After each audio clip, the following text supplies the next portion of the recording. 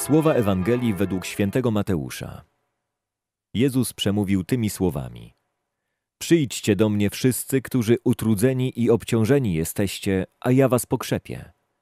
Weźmijcie moje jarzmo na siebie i uczcie się ode mnie, bo jestem cichy i pokorny sercem, a znajdziecie ukojenie dla dusz waszych.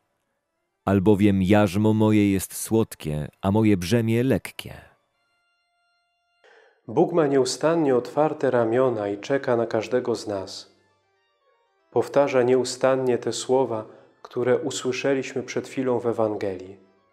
Przyjdźcie do mnie wszyscy, którzy utrudzeni i obciążeni jesteście, a ja was pokrzepię. Starotestamentalny szabat jest zapowiedzią wiecznego szabatu, czyli odpoczynku, do którego zaprasza nas Bóg.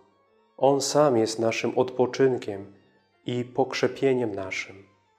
Liturgia Słowa w Adwencie jest skoncentrowana na proroctwach Starego Testamentu, które wypełniają się w życiu Chrystusa i Kościoła. Przez usta proroka Izajasza zapowiada, że On sam da siłę swojemu ludowi i że ci, którzy Mu zaufali, odzyskują siły, otrzymują skrzydła jak orły, biegną bez zmęczenia, bez znużenia idą. Nasza siła jest w Panu. On sam jest naszym odpoczynkiem i wytchnieniem.